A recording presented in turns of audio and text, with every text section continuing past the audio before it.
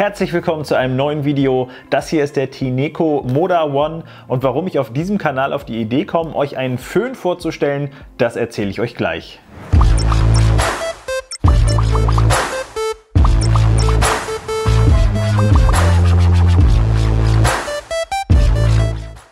Als allererstes möchte ich mich gerne bei Tineco bedanken. Die haben mir nämlich den Moda One für dieses Video zur Verfügung gestellt. Ja, ein Föhn auf einem Smart Home Kanal, was hat es damit auf sich? Der Hersteller Tineco, den kennt ihr vielleicht von anderen Videos auf diesem Kanal, die stellen nämlich hauptsächlich Akkustaubsauger oder auch Wischsauger her, die wiederum teilweise mit App-Steuerung und so ist es eben bei dem Moda One hier auch, den könnt ihr mit einer App verbinden und habt dann einige smarte Funktionen und die möchte ich euch hier eben auf diesem Kanal zeigen. Selbstverständlich bin ich mit meiner Frisur jetzt hier nicht unbedingt prädestiniert, hier in irgendeiner Form Beauty-Tipps gerade bei einem Föhn zu geben, ähm, deswegen ist der Haupt das Hauptaugenmerk hier natürlich die smarten Funktionen.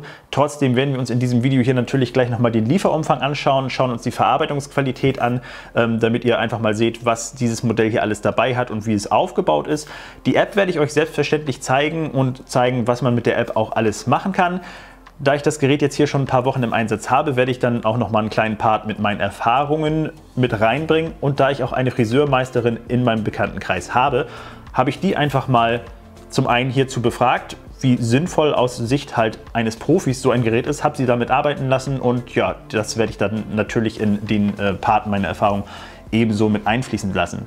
Zum Schluss gibt es dann nochmal ein kurzes Fazit und bevor es losgeht, fangen wir erst nochmal mit den technischen Daten an.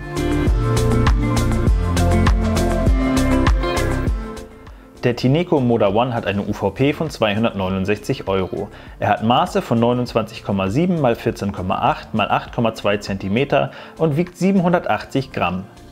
Der smarte Föhn hat eine Leistung von 1400 Watt.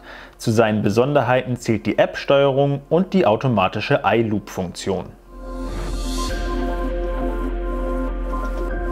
So, dann gehen wir hier mal ein bisschen ins Detail und als allererstes mal das Zubehör durch. Das ist jetzt gar nicht so viel. Ihr habt eine Bedienungsanleitung hier dabei ist und dann habt ihr eben drei verschiedene Aufsätze neben dem Föhn und die sind eben alle magnetisch. Einer ist ja hier vorne schon drauf. Man sieht, den kann man hier so einfach abnehmen. Es gibt halt diesen, ähm, ja, der vorne etwas schmaler ist. Das Ganze dann noch in etwas äh, breiter, aber jedes Mal kann man das einfach so magnetisch hier dran machen und dann halt auch natürlich drehen. Und dann gibt es halt noch diesen Aufsatz für Locken, auch alles magnetisch. Das ist natürlich ziemlich praktisch. Die beiden verschiedenen großen Öffnungen äh, sind jeweils dafür gedacht. Das eine ist für, ähm, um das Haar zu glätten, das andere um mehr Volumen ins Haar zu bringen. Wie gesagt, ich bin hier kein Beauty-Experte, ich habe mir das aber erklären lassen. Ich weiß jetzt aber nicht mehr, was jetzt hier für was ist. Der Föhn selber ist generell so aufgebaut, so sieht er von vorne aus. Hier vorne sind halt auch eine ganze Menge Sensoren drin, die automatisch erkennen sollen, wie feucht das Haar ist und dann halt eben selbstständig einstellen, wie viel Temperatur und welche ja, äh, Gebläsestärke hier eingestellt wird. Ihr habt auf der Rückseite die Möglichkeit, das äh, Gerät zu öffnen. Hier ist dann halt auch so ein Siebfilter drüber, der dafür sorgt, dass hier hinten dann kein Staub durchkommt. Das funktioniert auch richtig gut, habe ich in den letzten Wochen halt immer schon geguckt. Da, kann man, da sammelt sich das wirklich sehr gut, kann man dann hier so drüber wischen und dann wird das alles entfernt. Bei so handelsüblichen Föhnen ist mir das halt schon häufiger vorgekommen, dass da irgendwie Haare oder sonst was reinkommen. Dann kam das auch schon mal vor, dass ein Gerät kaputt ist. Ähm, das ist hier wirklich sehr hochwertig und gut gemacht. Hier außenrum ist halt ein LED-Ring. Ich zeige euch einfach mal kurz, wie das aussieht. Jetzt mache ich natürlich einmal Lärm. Da seht ihr, ist jetzt blau. Das ist diese iLoop-Funktion und auch die äh, kennt man vielleicht schon von dem ähm, Floor One S3, diesem ähm, Wischsauger oder auch ähm, anderen Akkusaugern, die haben halt hier auch diesen Ring. Und das Ganze wird halt eben rot, wenn das Haar äh, feuchter ist oder blau, wenn es dann eben nicht mehr so feucht ist. Also ihr habt schon gesehen, hier kann man ihn ein- oder ausschalten. Dann habt ihr hier die Möglichkeit an der Seite ähm, diesen Max- oder Automodus einzustellen. Das heißt, Automat, also generell, sobald ich das Gerät einschalte, geht es immer in den Automodus. Also jedes Mal ausmachen, wieder anmachen, ist es immer im Automodus und ihr müsst den Max-Modus quasi selber aktivieren, wenn ihr das möchtet. Darunter könnt ihr das Ganze nochmal auf kalte Luft umstellen. Und das war es eigentlich an Möglichkeiten, die man hier hat. Ähm, ich zeige euch jetzt einfach nochmal, wie das Gerät klingt, einfach, dass ihr dafür mal ein Gefühl habt.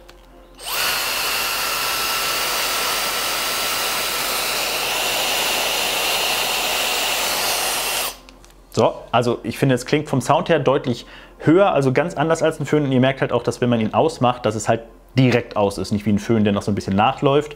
Und ich will jetzt einfach mal hier zeigen, einfach, dass ihr mal den Vergleich habt. Der normale Föhn, den wir bisher hatten, klingt halt so.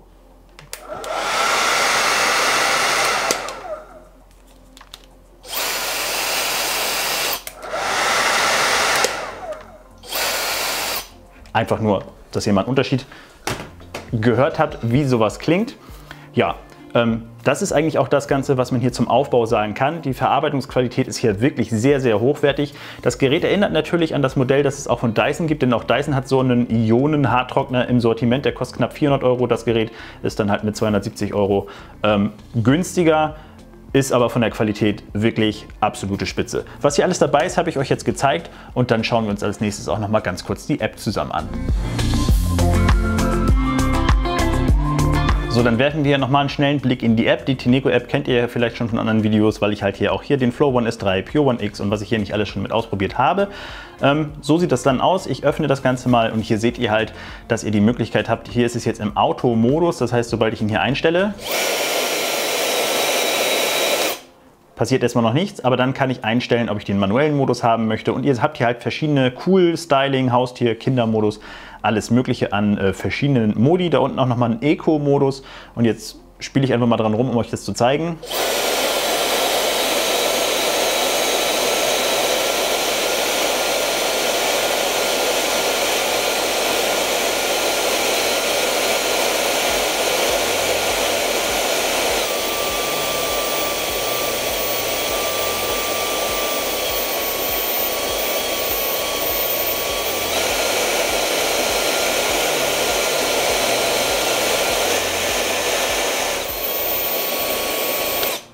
Ja, okay, ich denke mal, das langt. Ihr seht, was man damit machen kann. Ähm, generell zeigt euch die App halt während des Föhns an, was sie da gerade erkennt und ihr habt die Möglichkeit hier verschiedene Modi ähm, zu wählen. Könnt halt hier sagen, ähm, auf dem manuellen Modus, dass ihr alles selber einstellen könnt, halt hier oben die ähm, Geschwindigkeit zwischen niedrig, mittel und hoch und auch die Temperatur zwischen warm, mittel und heiß, das könnt ihr halt einstellen. Im Automodus macht das Gerät das alles selber. Im Cool-Modus ist natürlich klar, die Temperatur ist kalt und es ist auf mittel eingestellt. Dann gibt es halt einen Styling-Modus ähm, einen Haustiermodus und einen Kindermodus und wie gesagt hier unten Eco und hier oben habt ihr noch die Möglichkeit euch dann auch noch mal so ein paar ähm, ja, ähm, Statistiken anzeigen zu lassen. So, ja, das ist das, was man hier in der App machen kann mit dem Tineco Moda One. Wie schon bei den Akkusaugern vorher, muss ich sagen, ich persönlich würde das halt einfach nicht nutzen, weil ich ja, weiß ich nicht. Das Gerät hat einen Automodus, da funktioniert das wunderbar. Ähm, es gibt vielleicht den einen oder anderen, der da Bock drauf hat, das zu nutzen. Das sind die smarten Funktionen, die das Gerät hat. Und ich denke, jetzt erzähle ich euch noch mal ein bisschen was über meine Erfahrungen mit dem Tineco Moda One. Ja, wie schon gesagt, ich nutze den Föhn jetzt hier schon ein paar Wochen und was ich jetzt in meinem persönlichen, äh, bei meiner persönlichen Nutzung einfach festgestellt habe, ist, ähm, Klar, ich habe sehr kurze Haare und da geht das Föhn extrem schnell, aber was mir halt wirklich aufgefallen ist, ist, dass wenn ich mir die Haare hier mit föhne, ich kriege es absolut, selbst wenn ich es wollte, nicht hin, mir damit die Haare zu, beziehungsweise die Kopfhaut zu verbrennen, denn das Gerät stellt einfach alles automatisch so ein, dass es nie zu heiß wird. Und das ist ja gerade auch ein großes Key-Feature von diesem ähm, Tineco Moda One Ionen-Haartrockner, wie das Gerät ja eigentlich heißt, ähm, dass es eben so gemacht wurde, dass es euren Haaren nicht schadet, dass nie die zu hohe Temperatur eingestellt ist. Also ich habe das Gerät teilweise einfach mal wirklich zum Test mir so nah hier an den Kopf gehalten. Da wird nichts zu heiß, da tut nichts weh. Macht das mal mit einem anderen Föhn. Ähm, das, ich denke mal, kennt ihr selber. Da hat sich der ein oder andere bestimmt schon mal auch äh, verbrannt. Und das funktioniert halt hier einfach nicht. Das ist halt dann auch top für, ja, ich würde mal sagen, für Kinder.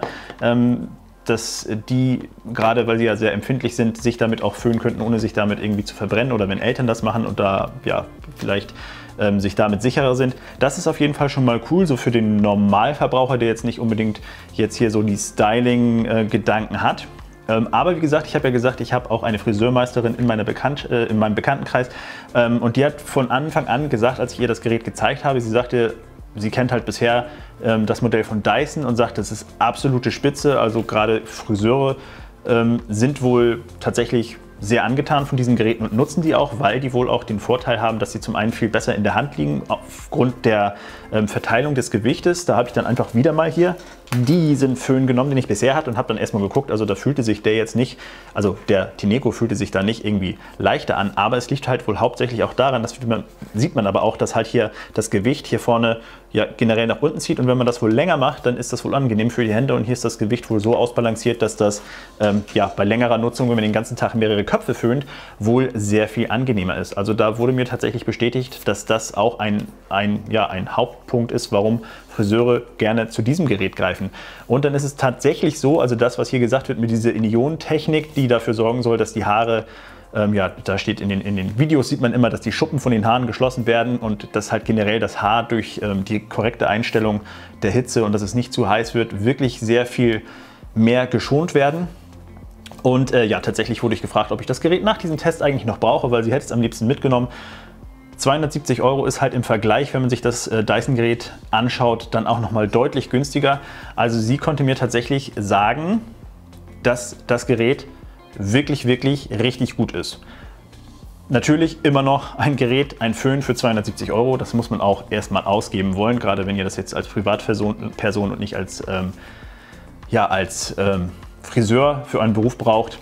Aber ja, also aus meinen Erfahrungen, ich kann sagen, ich föhne mir mittlerweile damit meine kurzen Haare, was auch wirklich sehr schnell geht, einfach weil ich äh, da nicht groß darauf achten muss, sondern ich stelle es ein, es wird alles automatisch eingestellt. Ähm, finde ich wirklich gut. Und ja, hier hinten die iLoop-Funktion bei meinen Haaren, auch da äh, es wird fast nichts rot, weil da wahrscheinlich einfach zu wenig Feuchtigkeit erkannt wird. Ähm, ähm, als das aber hier zu Hause ausprobiert wurde, als meiner Frau die Haare dann äh, damit geföhnt wurden, da zeige ich euch auch noch mal ein paar Bilder. Da sieht man, dass das wirklich sehr gut funktioniert. Also, so viel erstmal zu meinen Erfahrungen mit dem Tinico Moda One und dann kommen wir jetzt auch zum Fazit. Ja, kommen wir zum Fazit vom Tineco Moda One, dem smarten Föhn für 270 Euro. Mich konnte das Gerät insofern überzeugen, dass ich es ab sofort nutze. Er macht wirklich Spaß. Ich finde auch, dass die, das Geräusch ist für mich deutlich angenehmer als bei einem anderen Föhn. Ist aber auch wirklich Geschmackssache. Also meine Frau hat gesagt, ihr gefällt der Ton hier weniger. Ich habe ihn generell mal so ein bisschen durch die Familie gehen lassen. Auch da war es halt so, dass die meisten gesagt haben, dass es ihnen direkt aufgefallen ist, dass man sich ja damit da nicht mehr die Kopfhaut verbrennen kann. Also das hat wirklich vielen gefallen. Und ja, was, ich, was meine ähm, ja, Bekannte, äh, die Friseurmeisterin ist, gesagt hat, das habe ich euch ja bereits erzählt. Insgesamt also ein wirklich, wirklich tolles Gerät. Die smarten Funktionen sind für mich persönlich jetzt nicht unbedingt interessant, weil ich sie einfach genau wie bei den anderen Tineco-Modellen nicht nutzen würde, weil es für mich nicht so wirklich viel Sinn macht. Aber da könnt ihr mir ja gerne mal in die Kommentare schreiben, ob das für euch interessant ist, diese smarten Funktionen vom Tineco Moda One zu nutzen. 270 Euro ist immer noch extrem viel Geld für einen Föhn, wenn man überlegt, ähm, wie viele Föhne man in der Zwischenzeit kaputt machen könnte, die halt, keine Ahnung, 20, 30, 40 Euro kosten. Ähm, trotzdem, ja, dafür bekommt ihr halt ein wirklich sehr, sehr, sehr hochwertiges Gerät mit ähm, ja, tollem Funktionsumfang. Magnetisch finde ich richtig toll.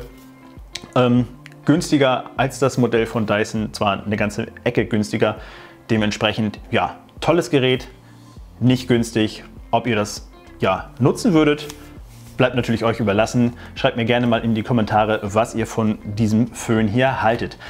Wenn jetzt noch Fragen offen geblieben sind, dann gerne in die Kommentare damit oder ihr kommt in unsere äh, Facebook Smart Home Gruppe. Da sind auch eine ganze Menge Nutzer drin, die sich über die verschiedensten Themen aus dem Smart Home Bereich unterhalten. Wenn euch dieses Video gefallen hat, dann freue ich mich natürlich über einen Daumen nach oben oder über ein Kanalabo. Wenn ihr Lust habt, sehen wir uns schon im nächsten Video wieder. Bis dahin, ciao, ciao.